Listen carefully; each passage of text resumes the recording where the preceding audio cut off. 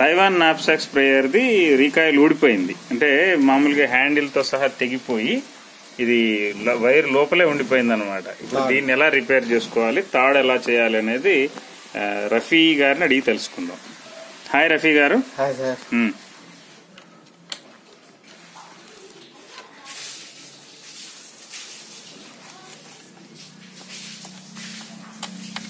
రెండా మూడా అండి స్క్రూస్ ఇవి? దీనికి ఫోర్ నెంబర్ ఎల్లంకి అని వస్తుందండి. ఫోర్ నెంబర్ ఎల్లంకి పెట్టి మూడు స్క్రూస్ ఉంటాయి. మూడు. మూడు. ఇప్పుడు ఈ టూలు కిట్ దీంతో పాటు ఇస్తారు కదా అది మంచిగానే ఉంటుందా? బాగానే ఉంటుందండి మనకు పని చేస్తుంది. అంటే పెద్ద పెద్ద వర్క్ షాప్లలో అంటే పని చేయదు. మామూలుగా మన వర్క్కి మనకు సరిపోతుంది. ఇంట్లో రిపేర్ చేసుకోవడానికి సరిపోతుంది. సరిపోతుంది. ఇప్పుడు మీరంటే ప్రొఫెషనల్ టూల్స్ వాడతారు. వాడతాం. ఓకే. ఓకే. ఇప్పుడు తాడు ఎటు వెళ్ళిపోయింది సార్? కనిపించట్లే. తాడు ఇక్కడికి వెళ్ళిపోయింది ఓకే.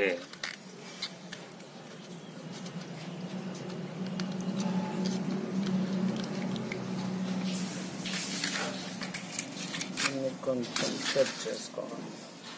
అంటే చివర ఇది నైలాన్ తాడా సార్? ఇది నైల్ అంటాడు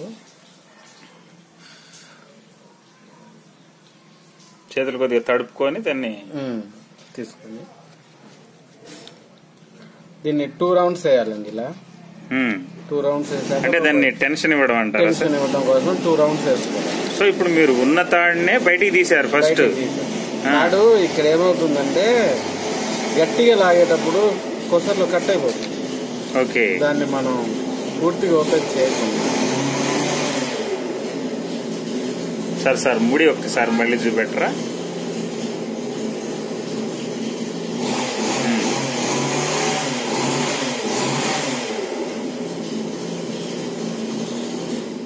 ఓకే.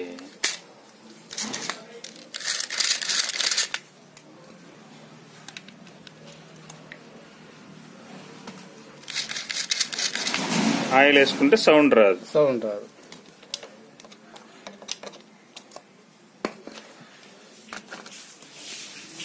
దీనికి ఏమన్నా పైకి కిందకి పెట్టుకోవడాలు ఏమైనా ఉంటాయా సార్? ఏముండవండి. మామూలుగా ఫ్రీగానే ఉంటుంది. ఫ్రీగా ఫిట్ చేసుకోవచ్చు. అంటే దీని కింద కుంచాలి దీని ఏమన్నా ఉంటుందా అలా? ఏం లేదండి ఫిట్టింగ్ కరెక్ట్ కూర్చుంటే ఉమ్. ఆటోమేటిక్గా స్టార్టర్ అదే సెంటర్ చేసేసుకుంటాయి.